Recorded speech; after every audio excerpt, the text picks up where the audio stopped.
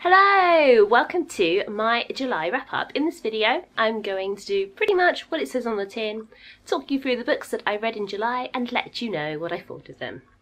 So the first book I read in July was, and I always have to check because I get the title the wrong way around, White Rabbit, Red Wolf by Tom Pollock. This got a lot of quite good reviews just before I read it and so I was really, really excited to pick it up and give it a go. You might notice it doesn't have the um, book title on the front cover because this is a proof copy from the publisher Walker Books, who were very kind to give it to me. And I have to say, I was not disappointed. This book was a lot of fun and I really do recommend it. It's about a boy who suffers from chronic anxiety and one night he goes with his mum to a gala that's very much in her honour because she's a very significant scientist. And while he's there, his mother is attacked and then his sister disappears. And it's up to him to figure out what's going on and to put all the pieces together and work out how to save everybody. Or is it? I can't really say much more about this book without spoiling it, but it really had me on the edge of my seat. It was a very, very, very, very interesting book, and I really, really enjoyed it and would strongly recommend it. I'm going to lend it to my partner next because I really think that he will enjoy it as much as I have.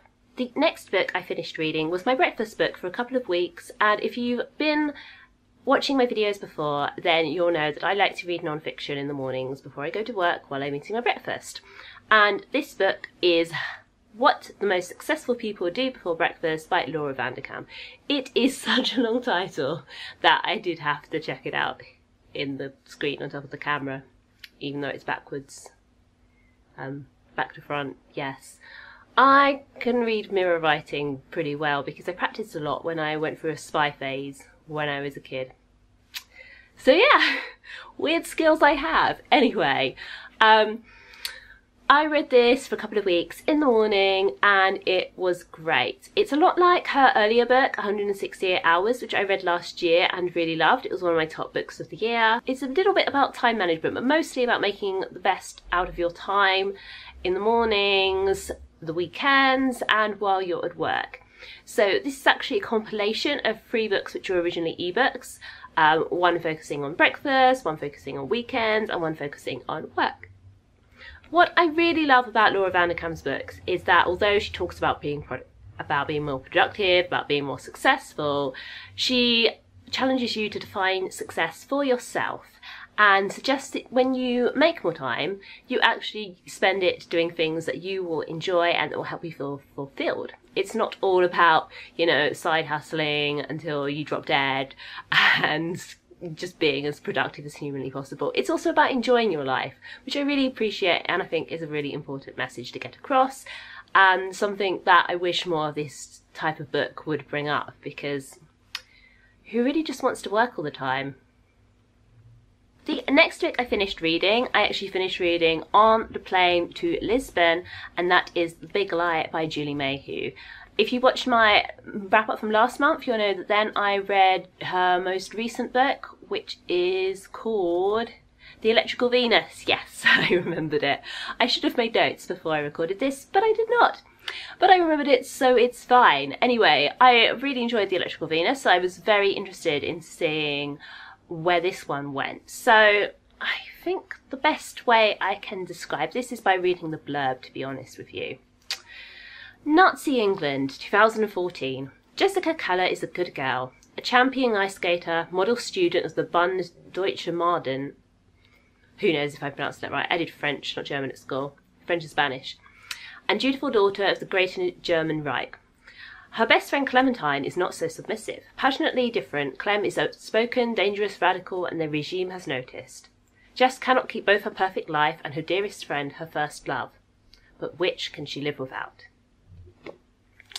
So basically, a, in the um, afterword at the back of the book, the author explains that she wrote this book really to answer the question what would life be like if the Nazis, Nazis had won the Second World War? And I think this book does kind of capture that pretty well. I think it's quite realistic, you know, obviously not having any real idea of what it would be like because that didn't happen, at least not in this version of the universe.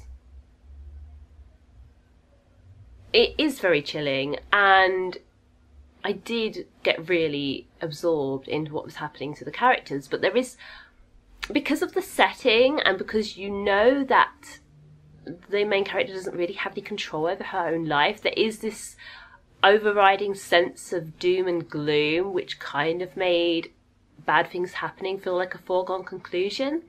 If that makes any sense. There wasn't a sense of hope running through this book, which I think, had I not been a captive audience on the plane, would have made it harder to get through. But as I was on a plane, I had nothing else to do, I did get through it quite quickly and I did enjoy it and I would recommend it. And if you have read it, let me know because it would be interesting to discuss it with people when we can talk about the more spoilery elements.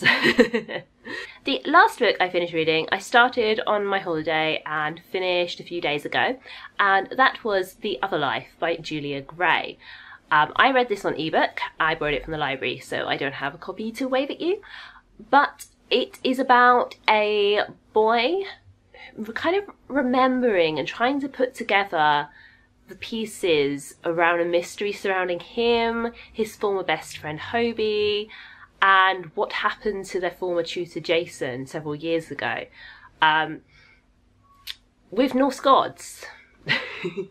there are what I really liked about this novel was a the references to the Norse gods. It was really interesting. Um, and B, the heavy metal references. I thought that was quite fun to have um, all those references to a really specific genre of music because I think quite often in books, authors just kind of drop in a lot of generic pop references or they go with references that they know.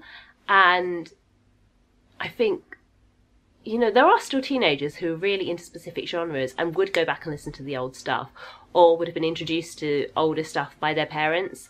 And so I think it's really good for that to kind of be an ongoing feature. And I liked how he would compare sounds to songs by Metallica. It added a really great level of detail to that book.